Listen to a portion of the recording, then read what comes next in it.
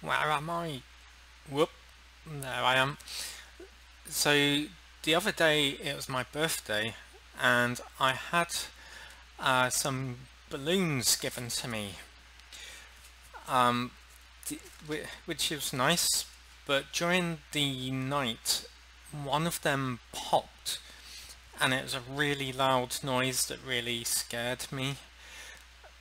Now, I've I just want to go around like destroying the balloons, but I can't because I, I'm I got into some trouble a while ago when I dragged a chair across the room. I got told off by the neighbours, so I'm trying to be more quiet these days. So, balloon, I've read a few tricks. Like one of them is this one, right? Um, at its most stretched part, if you take it by the neck of the balloon and um, sort of at the slack part. And I, I don't believe this taking works. a pair of scissors, like, if you just snip off the knot. I've never done this before. And the balloon is deflated. I don't believe that that would work. Like I, I am in my heart of hearts, I feel like that will still bang. It just seems like a fake hack. So let's try it. Um, and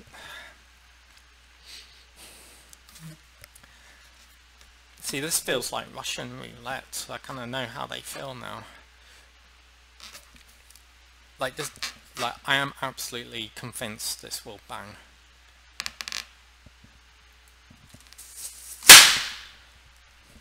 Brilliant. Well, that's.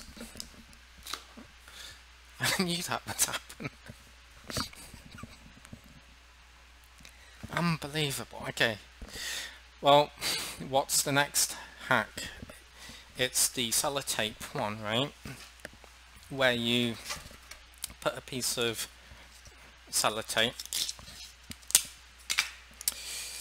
and you put the sellotape on the balloon and I've got a pin or a needle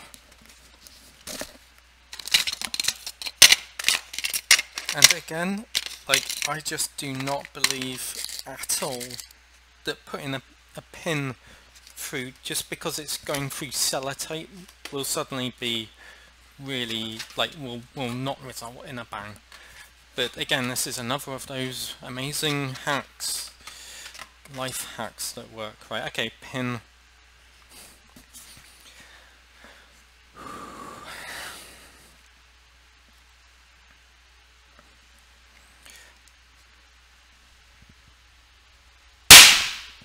brilliant.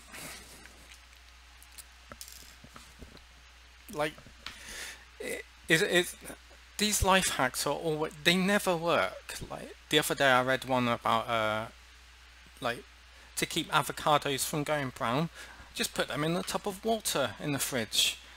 Like, yeah, the next day it wasn't brown, but it was mushy and unedible. So, yeah, well, okay. Well, that's Reaction Adam uh, like and describe